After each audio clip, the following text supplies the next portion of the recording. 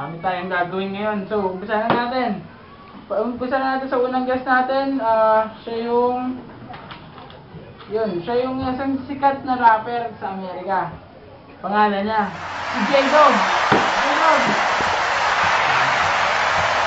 People. Chibong,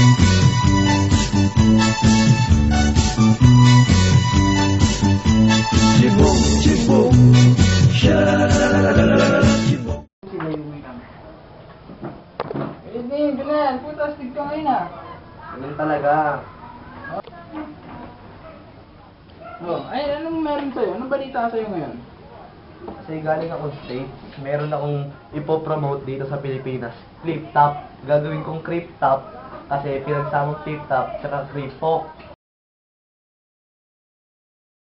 Huh, astig yun ah. Mm, astig top? talaga yun. Kaya clip, ano, clip walk, clip, Mm. clip top. Oh, Para- pa paano mo ipopromote yun? Saan naman namin makikita yan? Bukas ang labas. Kasi may kalaban ako, pangalan Duleng. Ayun yung pa. Duleng?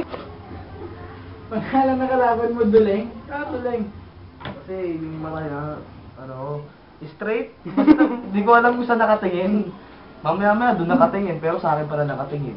Ah. Basta yan, bukas abangan natin yan yung ano yung clip top yung sinasabi niya. Anong masasabi mo kay ano, yung message mo kay uh, Duleng? Duleng, maganda ka bukas. Tatalunin kita, tangina ka. Maganda ka talaga bukas, kokopawang pa yung ulo mo. Sa barber yan. sa ber... Sige, sige, sige. Tuloy, tuloy. Doon sa barberyo. barberyo, di ba? Barber yan! Barberya, maganda ka, dudurugin kang mukha mo. So yan, uh, yung show natin today, ang unang guest natin si uh, Junel. So, uh, Junel, maraming salamat sa pagpunta. Okay ka lang bumalik sa ano. So, uh, Yung ko.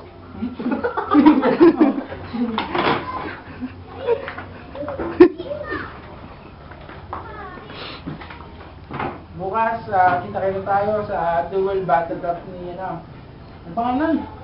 J-Dog, J-Dog. Duling. ni Dulen.